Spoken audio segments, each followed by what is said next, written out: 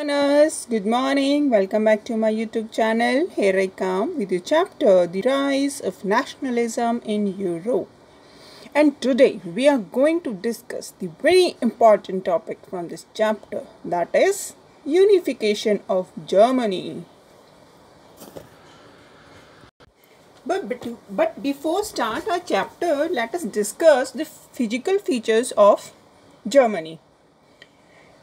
आप ये मैप देख पा रहे हो, ये मॉडर्न यूरोप का है, जिसमें हमारा जो जर्मनी है वो आपको दिख रहा होगा। यहाँ पर रशिया है, ये फ्रांस है। आप एक इंपॉर्टेंट पॉइंट जो आप अभी अपने दिमाग में बता, बिठाइए, मैं बाद में उसको डिस्कस करूँगी। फ्रांस के ईस्ट पोर्शन में है जन जर्मनी और वेस्ट साइड है स्पेन आप जर्मनी यानी कि फ्रांस और रशिया के बीच का डिफरेंस देख सकते हो। कितने सारे छोटे छोटे छोटे छोटे कंट्रीज़ हैं यहाँ पर। अब मैं इसी टॉपिक को लेकर जाना चाहती हूँ। उस समय के यूरोप के ऊपर मैं अभी उसका मैप दिखाती हूँ आपको। ये है हमारा जर्मनी उस समय का। आप देख सकते हो ये फ्रांस है और ये रशियन एम्पायर है। यानी कि जो जर्मनी है वो इतना बड़ा आप इसके साइज़ का आइडिया यहाँ से लगा सकते हो। एक्चुअली 1848 1848 जो रेवोल्यूशंस की बात हमने अपने चैप्टर में की थी रेवोल्यूशनरीज हमने पढ़े हैं डिस्कस किए हैं। और 1914 जब फ़र्स्ट वर्ल्ड वॉर स्टार्ट हुआ था, यानी 1848 टू 1914 का जो टाइम स्पैन था इसके बीच में ऐसा भी को, ऐसा कोई भी इंपॉर्टेंट इवेंट यूरोप में नहीं हुआ जितना कि इस जर्मनी को यूनिफाई करने का इवेंट था। यानी कि इस टाइम स्पैन के बीच में केवल एक ही यूरोप में इंपॉर्टेंट काम हुआ और वो था जर्मनी को यूनिफाई करना। And uh, that time uh, 19 to 20th century nationalism was a powerful force that could और हमने नेपोलियन को पढ़ा है कि नेपोलियन आता है और उसने जो नेपोलियन के समय पर ये जो जर्मनी था ये 300 छोटे छोटे स्टेट्स के अंदर डिस्ट्रीब्यूटेड था डिवाइडेड था। और दो बिग यूनिट थी एक पर्सिया और सेकंड वन इज़ ऑस्ट्रिया। कई बहुत सारे छोटे छोटे स्टेट्स भी थे। नेपोलियन ने इन 300 स्टेट्स को इकट्ठा करके कंबाइन करके एक कन्फेडरेशन ऑफ़ राइन बनाई 39 स्टेट्स की। ये जब हम नेपोलियन पढ़ रहे थे, तब हमने डिस्कस किया था कि उसने उन 300 स्टेट्स को कंबाइन करके एक कन्फेडरेशन बनाई थी, जिसके अंदर केवल 39 स्टेट्स थे। तो आप कह सकते हो कि यूनिफाई करने का काम जो जर्मनी का था, वो ऑलमोस्ट हाफ़ नेपोलियन ने कर दिया था। फिर 1850 में वाटरलू में नेपोलियन की हार होती है। और उस हार के बाद एक ट्रीटी होती है ट्रीटी ऑफ़ वियना 1815 ये भी हम डिस्कस कर चुके हैं। उससे पहले भी बहुत सारे लोगों ने या यूरोपियन गवर्नमेंट ने कोशिश की थी कि यूनिफाई किया जाए जर्मनी को, लेकिन वो सफल नहीं हो पाए। और कांग्रेस ऑफ़ वियना में सबसे पहले जो अलाइड फोर्सेस थी, उन्होंने कन्फेडरेशन ऑफ़ राइन को डिज़ोल्व कर दिया। Why did this Actually, they want to eradicate the memory of French Revolution. वो नेपोलियन या उससे रिलेटेड कोई भी मेमोरी अपने पास नहीं रखना चाहते थे इसलिए उन्होंने इसको डिज़ोल्व कर दिया और उसके जगह पर एक नया इवेंट नई ऑर्गेनाइजेशन फॉर्म की जिसको नाम दिया गया जर्मन कन्फेडरेशन या बुंड भी कहा जाता है Bund का main aim was uh, to protect its members and give them a stronger voice in Europe. That time it had also a diet, you can say parliament, but uh, this parliament uh, didn't achieve anything and uh, parliament was failed now the question arises if we unite the germany, then who ruled the unified germany? एक simple सा आप सवाल देखिए कि बहुत सारे छोटे छोटे छोटे छोटे स्टेट्स हैं और दो बड़े स्टेट हैं। तो कौन रूल करेगा? ये छोटे छोटे स्टेट्स या ये दोनों? ऑब्वियसली जो ये बिग यूनिट हैं, इनके बीच में स्ट्रॉन्ग कंपटीशन था और ये थे पर्सिया और Austria this is Prussia and this is Austria इन दोनों के बीच में स्ट्रॉन्ग कंपटीशन था कि कौन रूल करेगा। लेकिन जब कांग्रेस ऑफ़ वियना हुई, उसमें डिसाइड किया गया कि जो ऑस्ट्रिया है, वही मेन स्टेट होगा और वही रूलर भी होगा। अब बैरियर्स क्या क्या थे जर्मनी को यूनिफाई करने में सबसे पहला बैरियर तो ये दोनों ही थे। पर्सिया और ऑस्ट्रिया। इनके बीच में बहुत सारे डिफरेंसेस थे। जो ऑस्ट्रिया है, सबसे पहले हम रिलीजन की बात कर लेते हैं। ऑस्ट्रिया कैथोलिक चर्च को मानता था और पर्सिया प्रोटेस्टेंट चर्च को मानता है। एक्चुअली जैसे हमारे हिंदू रिलीजन के अंदर होता है, कोई शिव को मानता है, कोई हनुमान को मानता है, कोई दुर्गा माता को मानता है तो ऐसे ही चर्चेज़ की भी बहुत सारी डिफरेंट डिफरेंट ब्रांचेस होती हैं, जिनमें से जो ऑस्ट्रिया है, वो कैथोलिक को मानता था। कैथोलिक एक ट्रेडिशनल चर्च होता है, जो जब से चर्च स्थापित हुए हैं, तब से आ रहे हैं। ये बाइबल पोप चर्च सबको मानते हैं। और दूसरी ब्रांच है जिसे हम मॉडर्न कह सकते हैं एक तरह से, वो है प्रोटेस्टेंट ये बाइबल को तो मानते हैं बट ये कहते हैं कि पोप को क्यों माना जाए? ठीक है? तो दोनों के बीच में डिफरेंसेस थे। दूसरा, जो पर्सिया था, वो लिबरल सोच का था और ऑस्ट्रिया जो है कंजर्वेटिव सोच का। यहाँ इंडस्ट्रियलाइजेशन बहुत जल्दी हो रहा था, यहाँ नहीं हो रहा था। तो religion as well as economic differences थे दोनों के बीच में।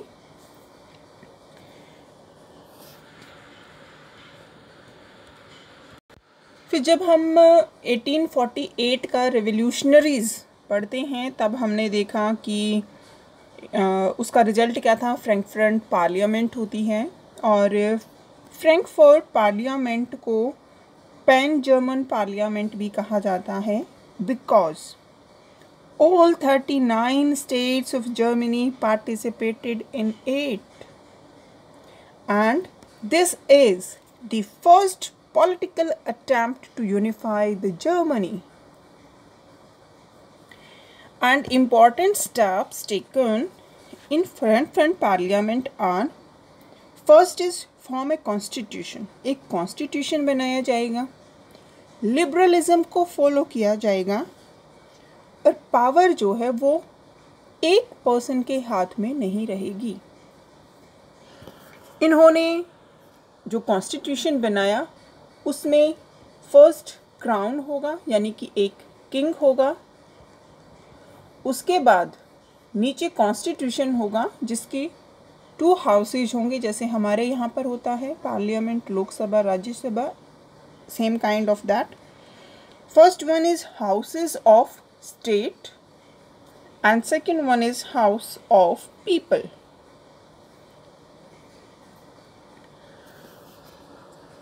Austria against the liberalism so Vienna congress में जब हुई थी तो उस समय पर ऑस्ट्रिया को मेन रूलर घोषित किया गया था और फ्रैंक फ्रंट पार्लियामेंट में पोजीशन बिल्कुल चेंज हो गई। अब जो पर्सिया है, उसे मेन पावर अनाउंस कर दिया कि रूल जो है, वो पर्सिया करेगा। और जो क्राउन था, वो ऑफ़र किया गया विलियम फोर को, लेकिन उन्होंने डिनाई कर दिया। क्योंकि जो विलियम फोर हैं, उन्हें पता था कि अब कॉन्स्टिट्यूशन बनने वाला है हाउसेस बनने वाले हैं पार्लियामेंट होने वाली है जो कि कंट्रोल करेगा किंग की पावर को। किंग के पास कोई पावर नहीं होगी और ऐसा विलियम फोर को बिल्कुल भी पसंद नहीं था। So he denied to be a king of unified Germany तो उनके जो भाई थे विलियम वन उन्हें वहाँ का किंग बना दिया जाता है। William one takes the regency regency means king और जैसे ही विलियम वन किंग बनती हैं, वो बहुत सारे रिफॉर्म्स अनाउंस कर देते हैं। वो कहते हैं कि अब तक जो हुआ था, अब उससे जा सब कुछ। उल्टा होने वाला है, मैं कोई भी पुराना रूल फॉलो नहीं करूँगा, सब अब नया बनने वाला है। और सबसे इंपॉर्टेंट उन्होंने आते ही अपना प्राइम मिनिस्टर अपॉइंट कर दिया ओटो वॉन बिस्मार्क को।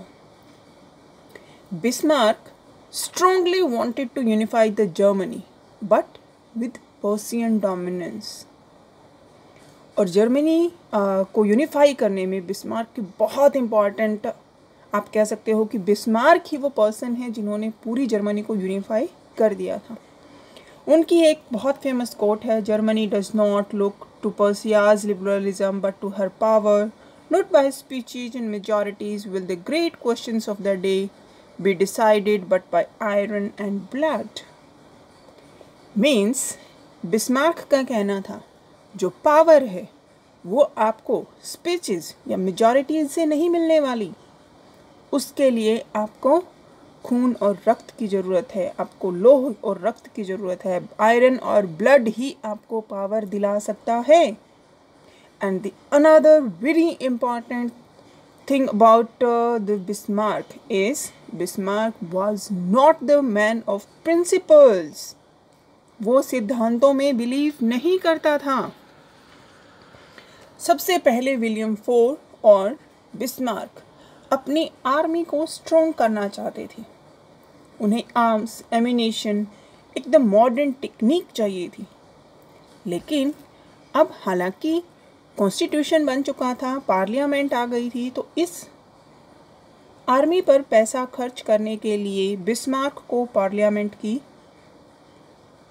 जो पॉलिसीज़ हैं उसको, उसके ऑर्डर से बजट पास करवाना होता था।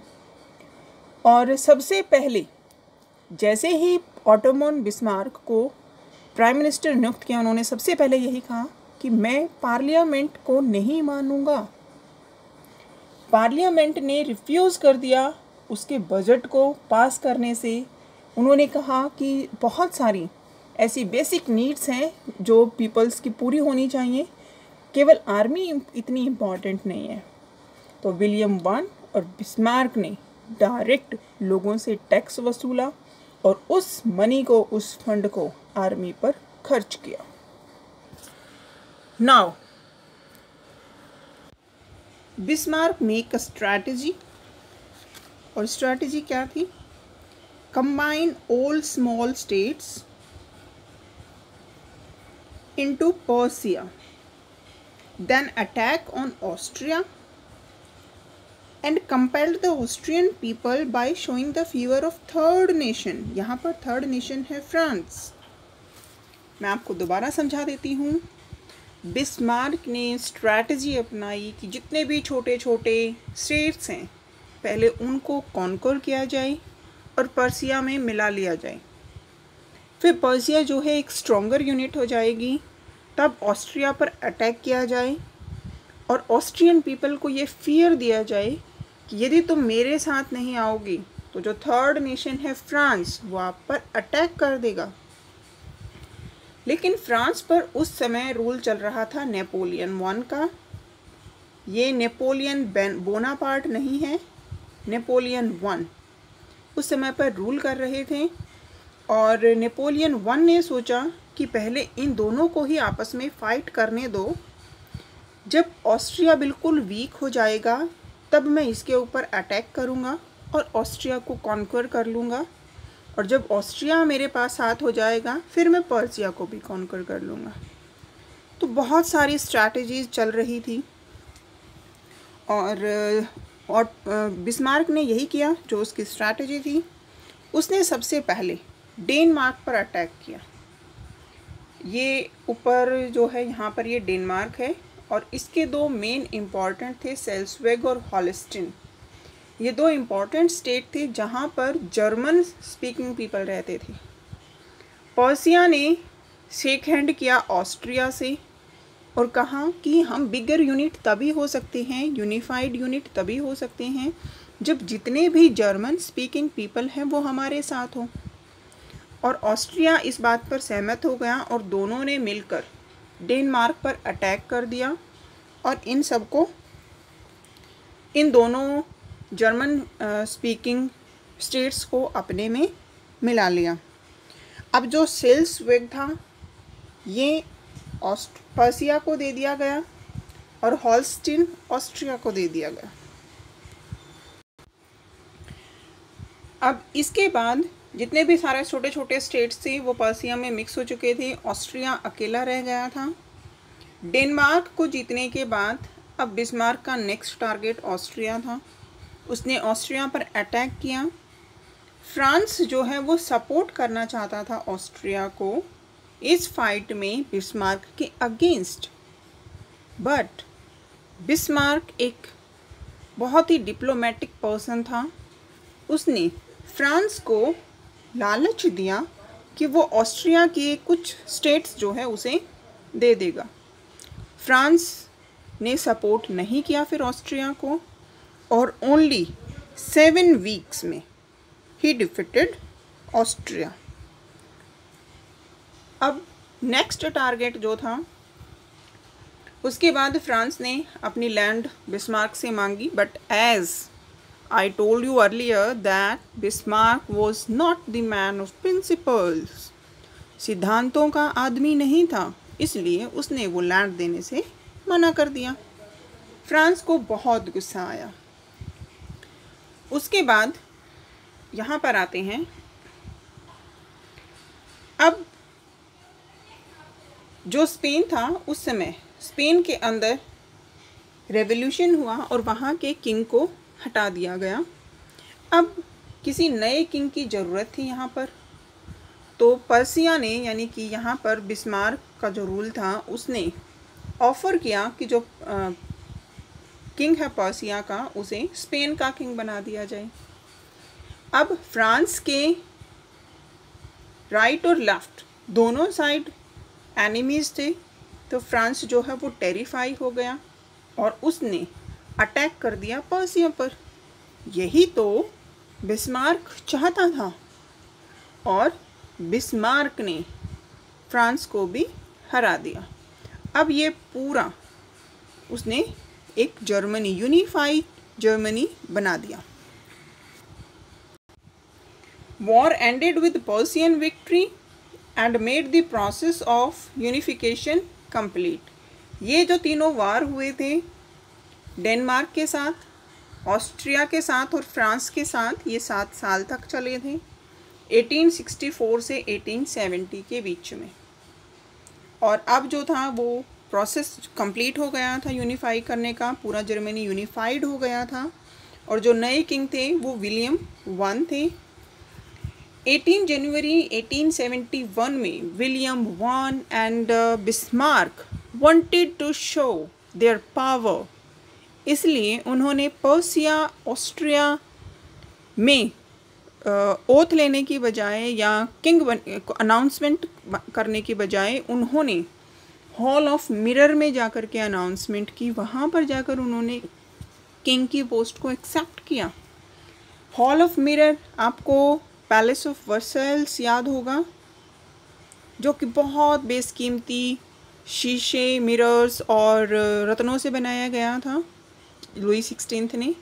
ये, जी हाँ बिल्कुल, मैं उसी हॉल ऑफ़ मिरर्स की बात कर रही हूँ, यानी कि फ्रांस में। और जो नए स्टेट्स थे, वो स्ट्रॉन्गली स्ट्रेस्ड करते थे कि बैंक्स का मॉडर्नाइजेशन हो मॉडर्न करेंसी होनी चाहिए लीगल और जुडिशल सिस्टम के इम्प्रूव्ड मेथड्स होने चाहिए और यही जो प्रैक्टिसेस या मेजर्स हैं बाद में रेस्ट ऑफ़ जर्मनी के लिए एक मॉडल बने। I want to show the very historical picture of the time this is the historical picture in which here you can see the Bismarck. And this is the William one. This is the hall of mirror. ये उसी समय की तस्वीर है जब William one जो हैं hall of mirror में जाकर के अपने आप को यूनिफाइड जर्मनी का किंग अनाउंस करते हैं। तो that's all for our today's topic I hope आपको ये वीडियो पसंद आई होगी। If you like my video then share with your friends, subscribe my channel and don't forget to press the bell button so that you will get the notification of my new videos. Thank you.